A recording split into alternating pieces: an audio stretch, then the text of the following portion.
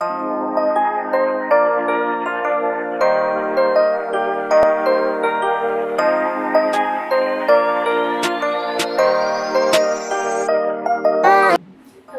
welcome to our restaurant feature video series.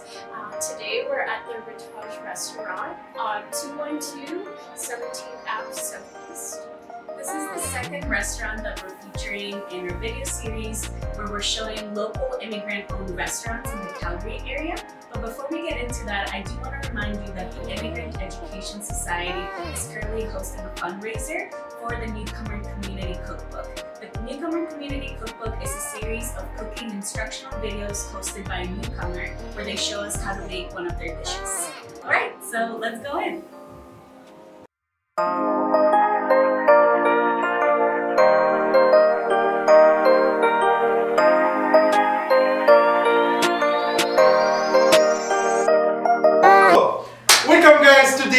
Gonna do the best hummus traditional here in the Ritage restaurant. So I'm gonna teach her how to do the hummus. Actually she don't know. So, so the, the main thing if you wanna do a hummus should be from scratch.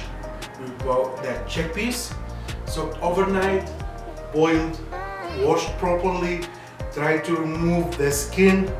Then from here you have 50% guarantee that your hummus will gonna be an amazing hummus. Here we have one kilo of chickpeas. It's boiled properly, uh, washed. The food processor is very important to do the hummus. Now you can do the in, in the Moulinex or the juice maker machine, but it will not give you the same result as the food processor. So first things we put the chickpeas and we'll keep it to mix properly.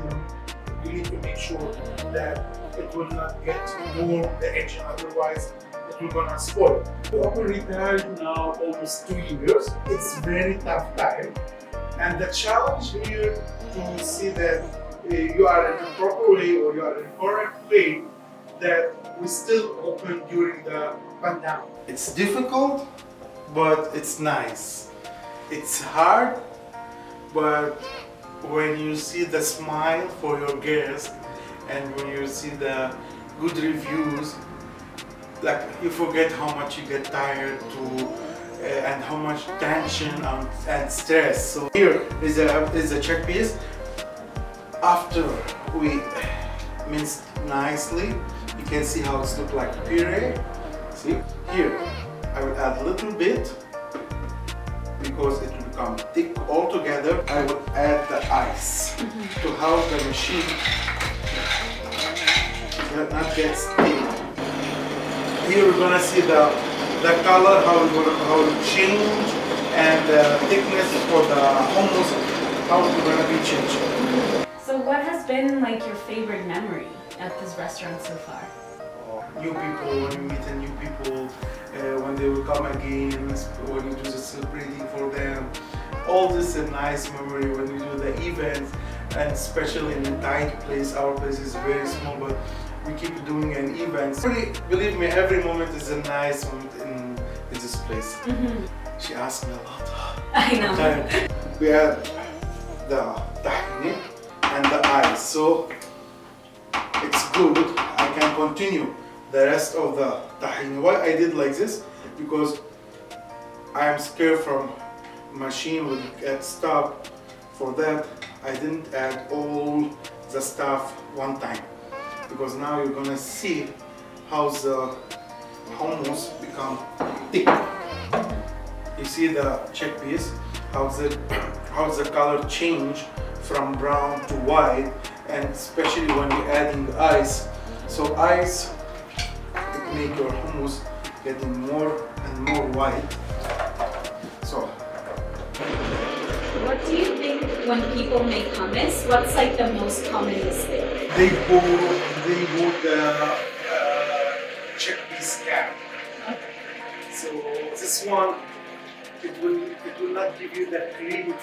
So you can see the jersey in the hummus. I saw people who add all the stuff together one time and mix it. Mm-hmm. Here, when you're doing the hummus, it's a game. It's a it's a track. You need to play with the with the hummus with your machine. So now here, after we add the ice, we're gonna add the oil.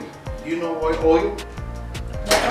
Oil. Why we add oil? To give dry, more dry to the to the hummus. After that, we're gonna add the citric acid or the lemon salt, citric acids, and salt. The hummus will become more thick now Oh, because we add the citric acid. So for that, I kept here some ice water. It will help me to make it creamy. What is something you wish people knew more about Mediterranean food? I wish them to try all the all the main dishes, not only the shawarma, because Mediterranean not only shawarma, not only falafel. I start to cook like a stuffed cabbage, stuffed baby mero, rice with uh, with oriental lamb, uh, grilled kibbe. Uh, not only Lebanese, like if you go to the to uh, Saudi Arabia, like you gonna try the mandi, magbi. Uh, if you go to Turkish, that or Iran, charis polo. Okay, so here's the hummus.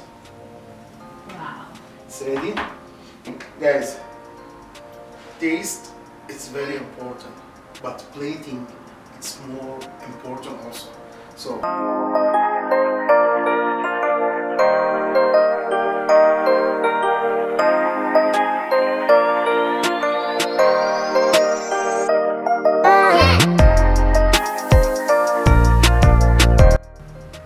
and we can garnish it with chickpeas, mint. So now it's your turn. Let me see how you're gonna plate. Oh, okay.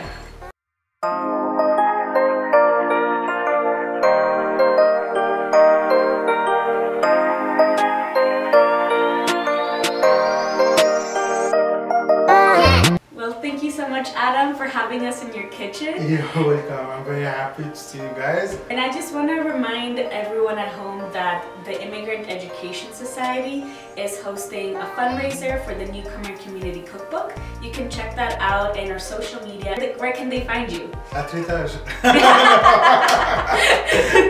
yeah, you can uh, you can find me uh, Chef Adam Cuisine YouTube, uh, Chef Adam Instagram and uh, Facebook, and also here in, in the kitchen we are doing the cooking classes. So Come. come. Yeah.